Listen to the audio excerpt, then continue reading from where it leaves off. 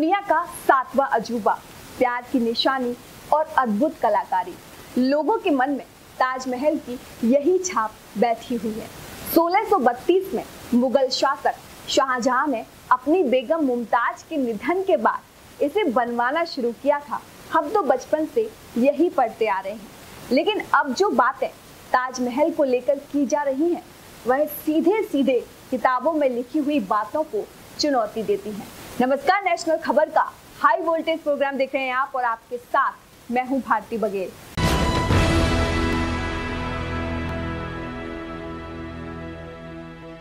ताजमहल और उसके नीचे बने 22 कमरों से जुड़ा वो राज आखिर क्या है, जिसे जानने के लिए देश भर में फिर से बहस छिड़ गई है। चलिए आपको सबसे पहले बताते हैं कि यह पूरा विवाद क्या है और यह शुरू कब हुआ। कई पत्रकारों का कहना है कि ताजमहल वाली जगह पर एक शिव मंदिर हुआ करता था, जिसे तेजो महल या तेजो महालय कहा जाता था। इतिहासकार दावा करते हैं कि शाहजहां ने महादेव के मंदिर को तोड़कर उसकी जगह ताजमहल बनवा दिया। बस इसी को लेकर भाजपा नेता डॉक्टर रजनीश सिंह ने इलाहाबाद हाईकोर्ट की लखनऊ बेंच में एक याचिका दायर की। इस याचिका में मांग की गई कि ताजमहल के ठीक नीचे बने 22 कमरों को खोला जाए ताकि यह पता चल सके कि उन कमरों में देवी देवताओं की मूर्तियाँ और शिवालय हैं या नहीं। 1960 से 70 के दशक में ताजमहल पर एक मराठी किताब लिखी गई, जिसका नाम था ताजमहल द ट्रू स्टोरी, और इसे लिखा था पी एन ओक ने उन्होंने अपनी किताब में कहा था कि ताजमहल वास्तव में तेजो महालय है, जिसका निर्माण 1155 में किया गया था। उनके मुताबिक तब वहाँ पर एक शिव मंदिर हुआ करता था। ओक के मुताबिक मुगलों के भारत आने से पहले ही आगरा में एक भव्य स्मारक मौजूद था। इस किताब में राजा मानसिंह के पोते जयसिंह का भी ज़िक्र था, जिनके हवाले से ताजमहल में गणेश, कमल के फूल और सर्प के आकार की कई आकृतियाँ दिखाई देने का दावा किया गया। हालाँकि पीएन ओक के तथ्यों और सवालों को कोर्ट ने कभी मान्यता नहीं दी। साल 2000 में सुप्रीम कोर्ट ने पीएन ओक की उस मांग को खारिज कर दिया था, जिसमें वह ताजमहल को एक हिंदू मंदिर घोषित करना चाहते थे। तो फिर सवाल यही है कि ताजमहल के 22 कमरों का राज क्या है? दावा किया जाता है कि ताजमहल में मुख्य मकबरे और चमेली फर्श के नीचे 22 कमरे बने हुए हैं, जिन्हें बंद कर दिया गया है। यह कमरे मुगल काल से बंद हैं। आखिरी बार इन कमरों को 1934 में खोला गया था। तब यहाँ केवल निरीक्षण किया गया था। बस इस तभी से यह 22 कमरे एक पहेली बनकर रह गए हैं। इसी विवाद के बीच भारतीय पुरातत्व सर्वेक्षण विभाग, यानी एएसआई ने कमरों की तस्वीरों को सार्वजनिक कर दिया है। यह तस्वीर है जनवरी 2022 की, जिन्हें एएसआई ने अपनी साइट पर शेयर किया है। इन तस्वीरों को साझा करने का जो मकसद है, वो कमरे को लेकर फैलाई जा रही अफवाहों को रोकना है। इन तस्वीरों में कहीं पर भी देवी देवताओं की मूर्तियाँ नज़र नहीं आती। हैं उधर हाई कोर्ट ने भी कमरे को खोलने की मांग पर सुनवाई के दौरान याचिकाकर्ता को कड़ी फटकार लगाते हुए याचिका खारिज कर दी। यहाँ कई सवाल खड़े हो रहे हैं। ताजमहल या तेजो महालय? क्या सच में ये भगवान शिव का मंदिर था? ताजमहल के कारीगरों के वंशज क्या कहते हैं?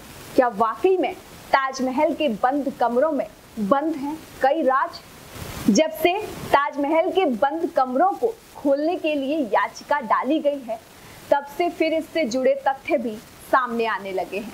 इस प्यार के प्रतीक को बनाने वाले कारीगर तो अब ज़िंदा नहीं हैं, लेकिन उनके वंशज ज़रूर मौजूद हैं, जो बता सकते हैं कि ताजमहल का सच आखिर क्या है।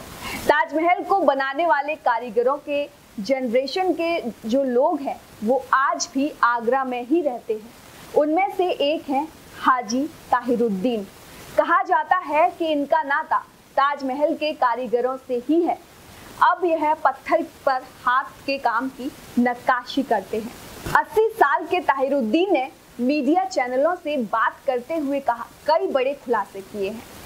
वह ताजमहल के कई साल तक गाइड भी रहे हैं। ताहिरुद्दीन कहते हैं कि इन दिनों चर्चा में रहने वाले ताजमहल के 22 कमरे कब्र के नीचे बने हैं। अभी एएसआई इन कमरों को स्टोरेज की तरह इस्तेमाल करता है।